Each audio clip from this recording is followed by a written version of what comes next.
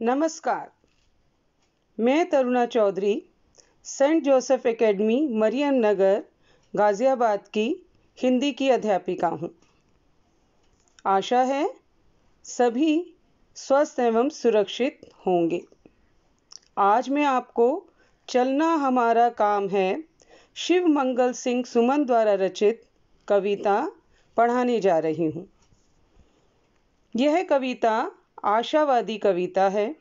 इसमें निरंतर प्रयास करते हुए आगे बढ़ने की प्रेरणा दी गई है। कवि कहता है कि जब तक हमें हमारा लक्ष्य ना मिल जाए, तब तक हमें रुकना नहीं चाहिए। जीवन में सुख, दुख, सफलता, असफलता, आशा, निराशा के क्षण तो आते जाते रहते हैं। उनसे हमें घबराना नहीं चाहिए। तो आइए कविता पढ़ते हैं। गति प्रबल पैरों में भरी, फिर क्यों रहूँ दर दर खड़ा? जब आज मेरे सामने है रास्ता इतना पड़ा। जब तक न मंजिल पा सकूँ, तब तक मुझे न विराम है, चलना हमारा काम है। तो कवि कहता है कि गति गति यानी कि रफ्तार। हमारे पैरों में, पैरों मतलब पाँव में, प्रबल प्रबल का अर्थ है शक्तिशाली। हमारे पैर, पाँव प्रबल हैं। उनमें चलने की शक्ति है। उनमें रफ्तार है। फिर क्यों रहूँ दर दर खड़ा? दर दर खड़ा का अर्थ है दरवाजे दरवाजे। दूसरों के दरवाजे पर नहीं खड़े रहना। दूसरों के से आश्रय मांगने के लिए नहीं जाना। हमें आत्मनिर्भर बनना है। हमें निरंतर आगे बढ़ना है क्योंकि हम शक्तिशाली हैं। प्रबल शक्ति हमारे पैरों में भरी है तो हमें आगे बढ़ते रहना है। जब आज मेरे सामने है रास्ता इतना बड़ा तो जब मेरे सामने इतना बड़ा रास्ता है, मंजिल तक पहुँचने के लिए हमें क्या करना है? निरंतर चलते रहना है। मुझे रुककर किसी से सहारा नहीं लेना और अपनी मंजिल तक पहुँचना ही है। चाहे कितना भी लंबा रास्ता हो, मुझे निरंतर आगे बढ़ना है। जब तक न मंजिल पा सकूँ, मंजिल मंजिल का मतलब है यहाँ पर लक्ष्य, उद्देश्य, गंतव्य। जब तक मैं अपने उद्देश्य को ना पालूं, जब तक जो मैं चाहता हूँ वो मुझे ना मिल जाए तब तक मुझे ना विराम है। विराम का अर्थ है कि तब तक मुझे आराम नहीं करना। जब तक मुझे मेरी मंजिल मेरा उद्देश्य नहीं मिल जाता तब तक मुझे न, रुकना नहीं है। मनुष्य बड़ी बड़ी चुनौतियों का सामना करने की शक्ति रखता है। उसे अकेले ही अपनी मंजिल तक जाना होता है। उसे रुकना नहीं चाहिए दूसरे पर निर्भर नहीं होना चाहिए। जब तक मंजिल ना मिल जाए, तब तक आराम नहीं करना चाहिए। जीवन पर्यंत, जीवन भर उसे आगे अपने कर्तव्य पर चलते ही रहना चाहिए, क्योंकि जीवन का नाम ही चलना है। रुकना तो मृत्यु के समान है। मनुष्य को गतिशील होकर अपने उद्देश्य को पाना चाहिए। यहाँ कवि ने आजीवन कर्तव्यरत होने के लिए निरंतर आगे बढ़ने की प्रेरणा दी है। यह समझ में आ गया होगा? अब हम दूसरा अनुच्छेद लेते हैं। कुछ कह लिया, कुछ सुन लिया, कुछ बोझ अपना बट गया अच्छा हुआ तुम मिल गई, कुछ रास्ता ही कट गया। क्या राह में परिचय कहूँ? राही हमारा नाम है, चलना हमारा काम है। कवि कहता है, कुछ कह लिया, कुछ सुन लिया। मनुष्य एक सामाजिक प्राणी है। उसके मन में तरह तरह के विचार आते रहते हैं। तो वह अपने विचारों को व्यक्त करना चाहता है और दूसरे के विचारों को जानना चाहता है। अर्थात, सदैव उसके मन में इच्छा होती है बातचीत करने की। अकेला वह रह नहीं पाता। तो कहता है, जीवन में कुछ कह लिया, कुछ सुन लिया। अपने विचार बताए और दूसरों के विचार सुने। तो इससे क्या होता है? कुछ बोझ अपना बट गया। तो इससे क्या होता है? मन पे जो बोझ होता है, तनाव होता है, जो चिंता होती है, उससे मुक्ति मिल जाती है। ऐसा कहा भी जाता है कि दुख बांटने से कम होता है और खुशी बांटने से बढ़ती है। तो जीवन के पथ में हमें अनेक लोग मिलेंगे। तो हमें कुछ कहते हुए, उनकी सुनते हुए, अपने मन का बोझ कम करते हुए निरंतर आगे बढ़ना चाहिए। तो फिर वो कहता है अच्छा हुआ तुम मिल गई, कुछ रास्ता ही कट गया। तो इस जीवन के रास्ते में उसे एक साथी मिला। वह साथी कौन थी, पत्नी थी, प्रेमिका थी, ये हम कुछ नहीं जानते। बस हम यहाँ लेंगे कि उसे कोई एक साथी मिला, जिससे के मिलने से क्या हुआ? उसे प्रसन्नता हुई, क्योंकि एक से दो भले। जब वह दो हो गए, कुछ रास्ता ही कट गया। जब तक वे साथ रहे तो वह रास्ता दो जने थे। दो व्यक्ति थे, आपस में बातचीत करते हुए दुख सुख बांटते हुए अच्छे से कट गया। वह आगे चलता ही रहा। तो वो कह रहा है, क्या राह में परिचय कहूँ? राही हमारा नाम है। तो कवि कहता है, मैं अब आपको अपना क्या परिचय दूँ? मैं तो इस जीवन रूपी यात्रा का यात्री हूँ, इसलिए राही मेरा नाम है। रात्रि ही मेरा नाम है तो चलना हमारा काम है। तो यहाँ पर कवि कहता है कि जीवन रूपी यात्रा में अनेक यात्री मिलती हैं। राही मिलते हैं, यानी कि अनेक यात्री मिलते हैं। उनसे सुख दुख बांटकर मन का बोझ थोड़ा हल्का हो जाता है। तो जीवन में जो उसे यह सहचार्य मिला, साथी मिला, उसके कारण रास्ता जो है सरलता से व्यतीत हो गया, वह आगे बढ़ पाया। और फिर वो कहता है, लेकिन साथी मिले हम सबका क्या परिचय है? हम सब यात्री हैं, राही हैं, लेकिन हमें जीवन पथ पर अकेले ही बढ़ना होता है तो निरंतर हमें आगे बढ़ते रहना चाहिए। अब हम इसके तीसरे पद्य पर आएँगे। यहाँ पर कवि कहता है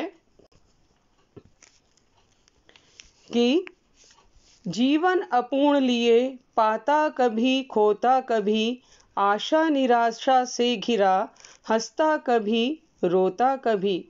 गति मति ना हो अवरुद्ध, इसका ध्यान आठों याम है, चलना हमारा काम है। जीवन अपूर्ण अपूर्ण का मतलब है अधूरा, आधा। वो कहता है, मुझे अपना जीवन अपूर्ण ही लगता है। तो कवि को लगता है, लेकिन सभी को ऐसा लगता है। ऐसा क्यों लगता है? कि हमें अपना जीवन अपूर्ण लगे। उसका यह कारण है कि मनुष्य के मन में अनेक इच्छाएँ होती हैं। उन इच्छाओं की पूर्ति होने पर वह प्रसन्न हो जाता है। वह इच्छाएँ पूरी नहीं होती तो वो निराश हो जाता है। तो वो अपने आप को अधूरा सा समझता है। क्योंकि जीवन में जो हम चाहते हैं, वो मिल भी जाए तो भी हमारी अनंत इच्छाएँ हैं, जिसके कारण हमें लगता है कि हमारा जीवन अपूर्ण है। फिर वो कहता है, पाता कभी, खोता कभी, आशा, निराशा से घिरा। पाता पाता का मतलब है कि उसे कुछ मिल गया और खोता मतलब कुछ खो गया। जो वो कुछ पाना चाहता है, वो मिल गया और कुछ खो गया। इसका भाव यह है कि जीवन में जब हमारी इच्छाएँ पूरी हो जाती हैं, जो हम चाहते हैं वो हमें मिल जाता है तो हम प्रसन्न हो जाते हैं। कई बार कुछ चीज़ें हमें मिल भी जाती हैं, लेकिन कुछ समय बाद वो खो जाती हैं तो फिर हम निराश हो जाते हैं। तो ये जीवन उतार चढ़ाव से घिरा हुआ है। इसी कारण जीवन में सदैव आशा, निराशा से घिरा रहता है मनुष्य। इसी कारण मनुष्य सदैव आशा और निराशा से घिरा रहता है। कुछ पाने की आशा कि कुछ मिल जाएगा और कभी कभी उसे लगता है कि जो मुझे चाहिए वो नहीं मिलेगा तो वो निराश हो जाता है। इस तरह आशा और निराशा के समुद्र में गोते लगाता रहता है। हंसता कभी, रोता कभी, गति मती ना हो अवरुद्ध। हंसता है कभी और कभी रोता है। तो मिलने पर उसे खुशी होती है, वह प्रसन्न होता है, हंसता है और कभी कभी दुखी भी हो जाता है। तो इस प्रकार हम देखते हैं जीवन अपूर्ण है, क्योंकि उसके अंदर क्या है? सुख ही सुख नहीं है। आशा, निराशा, हंसना, रोना, यह सब कुछ है। इसके साथ ही हमारा जीवन आगे बढ़ता रहता है। तो क्या कहते हैं? आशा, निराशा, हंसने, रोने, सफलता, असफलता पर भी हमारी गति और मति अवरुद्ध रुकनी नहीं चाहिए, निरंतर आगे बढ़ती रहनी चाहिए। गति का मतलब है चाल, यानी कि हमें रुकना नहीं है। मति, ये एक इंपॉर्टेंट महत्वपूर्ण शब्द है, ध्यान रखेंगे। मति का अर्थ है बुद्धि। अवरुद्ध अवरुद्ध का मतलब है कि बुद्धि हमारी विरोधी ना हो जाए, रुक ना जाए, यानी कि जब हमें सफलता मिले तो हम रुककर रुक ना जाएँ, बैठ ना जाएँ। और मति का अर्थ है कि हमारी बुद्धि सुख में हम ज़्यादा अहंकारी ना हो जाएँ और दुख में ज़्यादा अवसाद में निराशा में ना घिर जाए। सदैव सदैव हमें क्या रहना है? अवरुद्ध निरंतर बढ़ते रहना है। इसका ध्यान आठों याम। याम का मतलब होता है चौबीस घंटे। हमारे हिंदी आ, के अनुसार आ, जो हैं आठ प्रहर माने गए हैं जैसे दोपहर होता है ठीक है? तो आठों याम मतलब चौबीस घंटे हमें याद रखना है कि हमें निरंतर चलते रहना है। चलना ही हमारा काम है।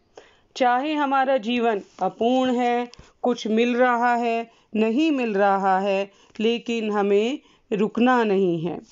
अत्यधिक प्रसन्न नहीं होना, अत्यधिक दुखी नहीं होना, क्योंकि जो जीवन में दिन है, वे एक से नहीं रहते। जीवन में क्रम से सुख दुख आते रहते हैं।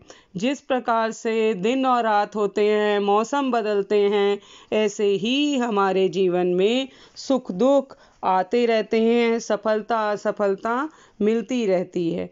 लेकिन हमारी गति नहीं रुकनी चाहिए। हमें आठों याम, चौबीस घंटे इस बात का ध्यान रखना है कि रुकना नहीं है।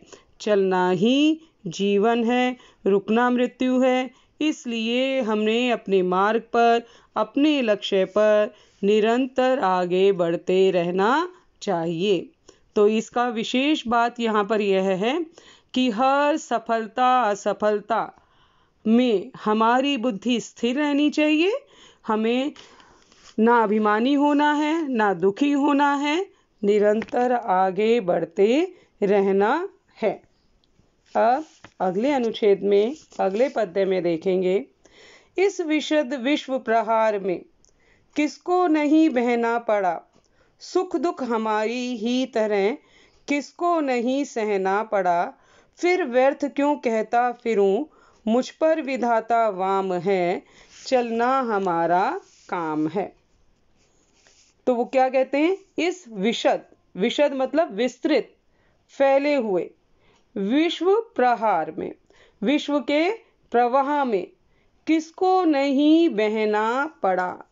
मतलब दुनिया के अनुसार सबको चलना ही पड़ता है।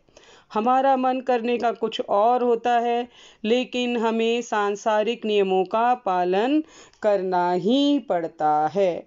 क्या करें? यह जीवन है, यह संसार है। तो इस संसार के अनुसार हमें अपने कार्य करने ही पड़ते हैं। उसके कारण भी हमें क्या करना पड़ता है? सुखों और दुखों का सामना करना पड़ता है। इस विशद विशद मतलब विस्तृत, विश्व प्रहार में, संसार के प्रहार में, बहाव में हमें बहना ही पड़ता है। सुख दुख हमारी ही तरह किसको नहीं सहना पड़ा। तो इसका भाव यह है कि हमारी तरह ही सबको इस संसार में सुख दुख सहना पड़ता है। हम अकेले नहीं हैं, जिनको परिस्थितियों के अनुसार आगे बढ़ना पड़ता है, अपने मन के विपरीत कार्य करना पड़ता है। यह किसको नहीं सहना पड़ा? यह सब कुछ सभी को सहना पड़ता है। कभी मन चाहा होता है, कभी नहीं होता। तो ये ऐसा दुख सबको ही सहना पड़ता है। फिर भी हमें क्या कहना चाहिए? फिर व्यर्थ। व्यर्थ का मतलब हो गया बेकार में। क्यों बेकार में कहता फिरूं? क्यों ऐसे बोलता रहूँ? मुझ पर विधाता वाम है। मुझ पर ईश्वर विरुद्ध है।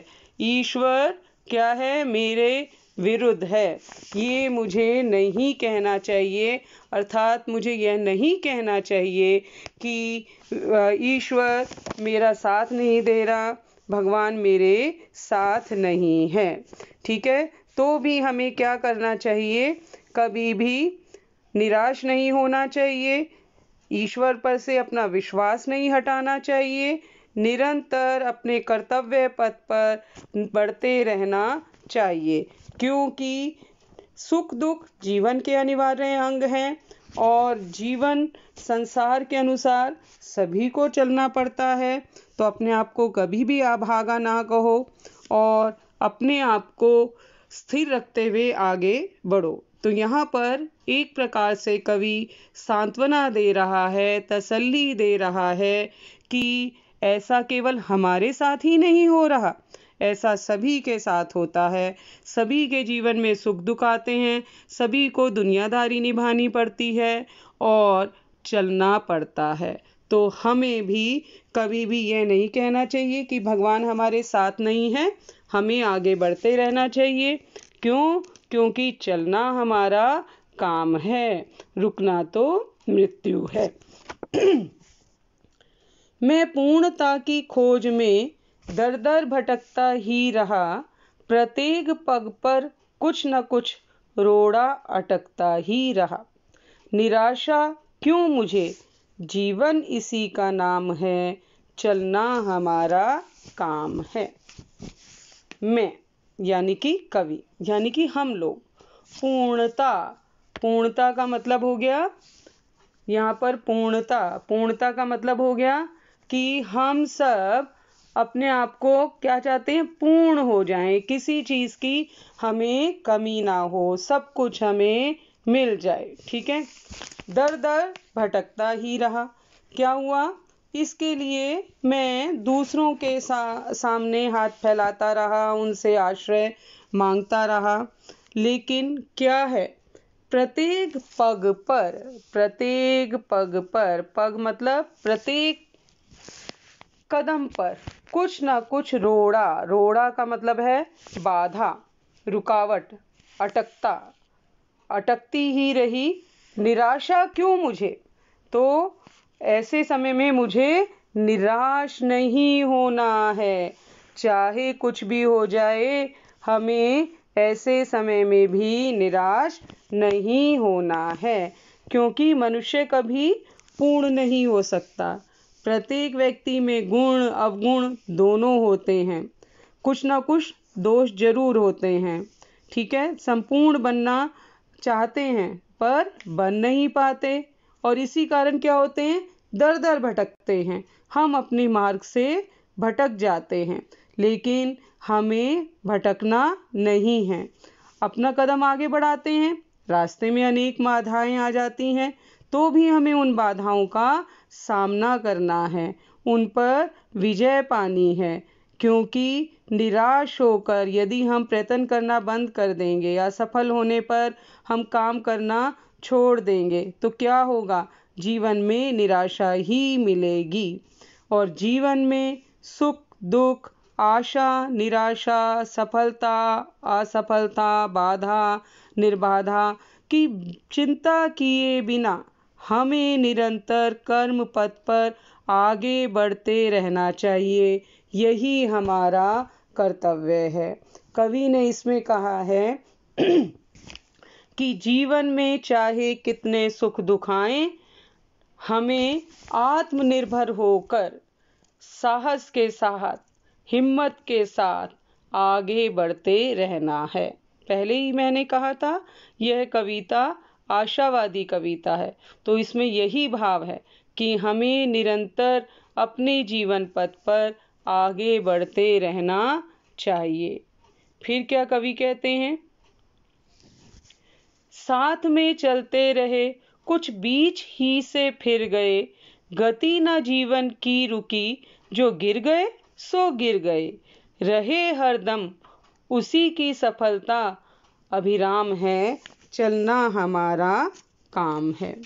साथ में चलते रहे, कुछ बीच में ही, बीच ही से फिर गए। तो इसका क्या मतलब है? वो कहते हैं कि कुछ साथ में थे और कुछ बीच में ही हमें छोड़कर चले गए। तो हमें क्या है? फिर भी गति ना रुकी जीवन की, गति रफ्तार नहीं रुकी जीवन की। फिर भी जो नहीं रुके, उनको क्या मिली? सुंदर सफलता मिली।